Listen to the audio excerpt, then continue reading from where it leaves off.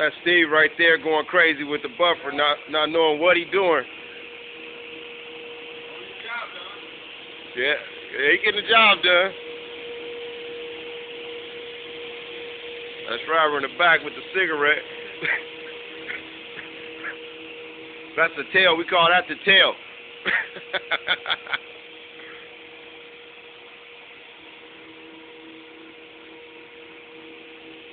Hit the wall.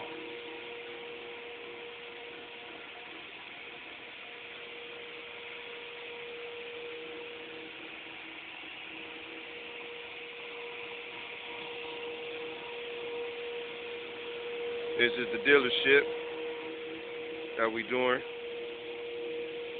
This is me. That's the hurricane.